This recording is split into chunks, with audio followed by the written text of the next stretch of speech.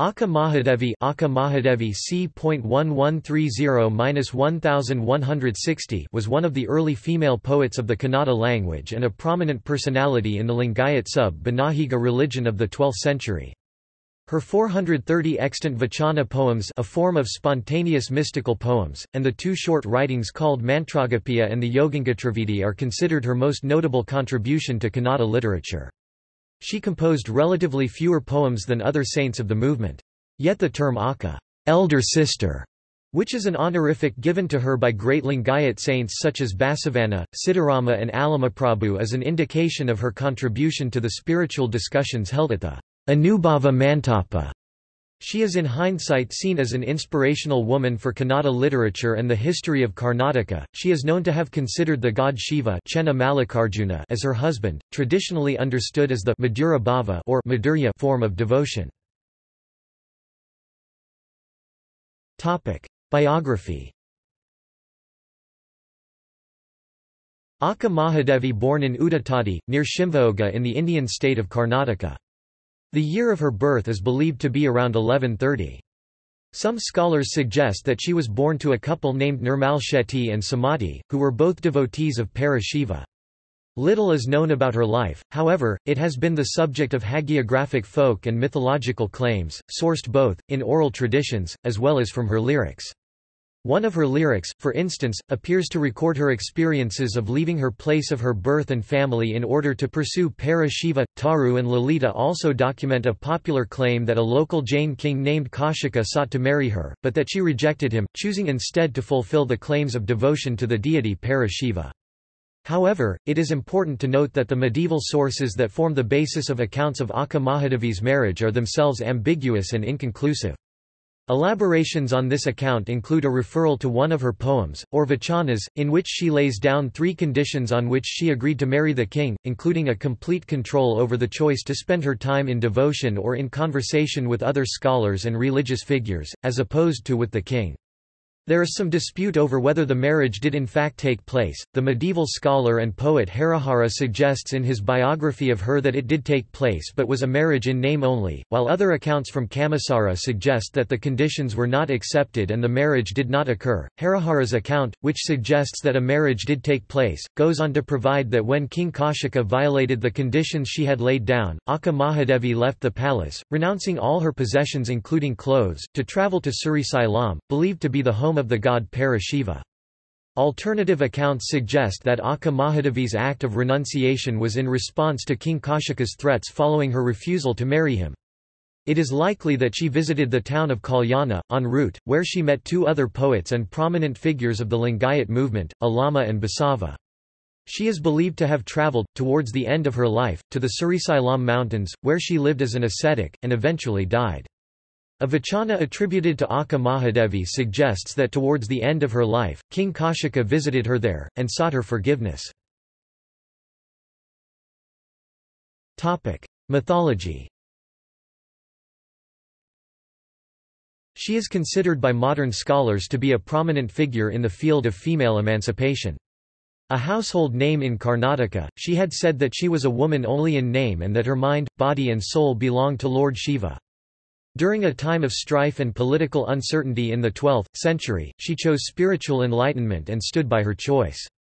It is commonly known that she took part in many gatherings of learned such as the Anubhavamantapa in Kalyana, now Basava Kalyana to debate about philosophy and attainment of enlightenment or moksha, termed by her as Arivu.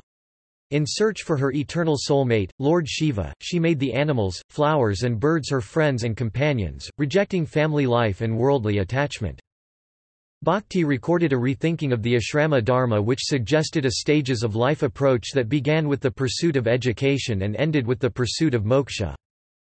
Akka was a revelation here in that she pursued enlightenment recording her journey in vachanas of simple language but great cognitive rigor. It is said that Mahadevi was married by arrangement to Kausika but later did not as the king disrespected some conditions set by her. There were immediate tensions, however, as Kausika was a Jain, a group that tended to be wealthy and was, as a result, much resented by the rest of the population. Akka's poetry explores the themes of rejecting mortal love in favor of the everlasting love of God. Her vachanas also talk about the methods that the path of enlightenment demand of the seeker, such as killing the I, conquering desires and the senses and so on. She rejected her life of luxury to live as a wandering poet-saint, traveling throughout the region and singing praises to her lord Shiva. She went in search of fellow seekers or sharanas because the company of the saintly or sajana sangha is believed to hasten learning. She found the company of such sharanas in Basavakalyana, Bidar district. Akka utters many vachanas in praise of them. Her nonconformist ways caused a lot of consternation in a conservative society and even her eventual guru Allama Prabhu had to initially face difficulties in enlisting her in the gatherings at Anubhavamantapa. A true ascetic, Mahadevi is said to have refused to wear any clothing—a common practice among male ascetics, but shocking for a woman. Legend has it that due to her true love and devotion with God her whole body was protected by hair. All the Sharanas of Anubhavamantapa, especially Basavanna, Chenna Basavanna, Kanari Bhamaya, Sitarama, Allamaprabhu and Dasamaya greet her with a word, Akka. In fact it is here onwards that she becomes Akka, an elderly sister. Allama shows her the further way of attaining the transcendent bliss of ultimate union with Lord Chenna Mallikarjuna. Akka leaves Kalyana with this following vachana, this dramatic situation of Kalyana Parva in Akka Mahadevi's life is an indication of the beginning of the third phase of her life. In the first phase she had renounced the worldly objects and attractions and in the second, discards the entire object-based rules and regulations and in the third phase she starts her journey towards Srishila, where her eternal lover Chenna Mallikarjuna's temple locates. Also it is the holy place for devotees of Shiva since before the 12th century. Akka's spiritual journey ends at Kadali the nearby thick forest area of Srisela where she is supposed to have experienced union with Chennamallikarjuna. One of her famous vachana translates as Her poetry exhibits her love for Chenna Mallikarjuna and harmony with nature and simple living. She sang Works Akka Mahadevi's works, like many other bhakti movement poets, can be traced through the use of her Ankita, or the signature name by which she addressed the figure of her devotion. In Akka Mahadevi's case, she uses the name Chennamallikarjuna to refer to the god Shiva. The name Chennamallikarjuna can be variously translated, but the most well-known translation is by the scholar and linguist A.K. Ramanujan, who interprets it as Lord White as Jasmine. A more literal translation would be Mallika's beautiful Arjuna, according to Tharu and Lalita, based on the use of her Ankita. About 350 lyric poems or vachanas are attributed to Akka Mahadevi. Her works frequently use the metaphor of an illicit, or adulterous love to describe her devotion to Chennamallikarjuna Shiva. The lyrics place Akka Mahadevi as actively seeking out a relationship with Chennamallikarjuna Shiva, and touches on themes of abandon, carnal love, and separation. The direct and frank lyrics that Akka Mahadevi wrote have been described as embodying a radical illegitimacy that re-examines the role of women, not just as actors with volition and will, but in opposition to established social institutions and mores. At times she uses strong sexual imagery to represent the union between the devotee and the object of devotion. Her works also challenge common understandings of sexual identity, for instance, in one vachana she suggests that creation, or the power of the god Shiva, is masculine, while all of creation, including men, represent the feminine. I saw the haughty master, Mallikarjuna, for whom men, all men, are but women, wives. In some vachanas, she describes herself as both, feminine and masculine. Akka Mahadevi's works, like the works of many other female bhakti poets, also touches on themes of alienation, both, from the material world, and from social expectations and mores concerning women. Translations and legacy A. K. Ramanujan who first popularized the vachanas by translating them into a collection called Speaking of Shiva. Post-colonial scholar Tejaswini Niranjana criticized his translations as rendering the vachanas into modern universalist poetry ready to consume by the West in citing translation 1992.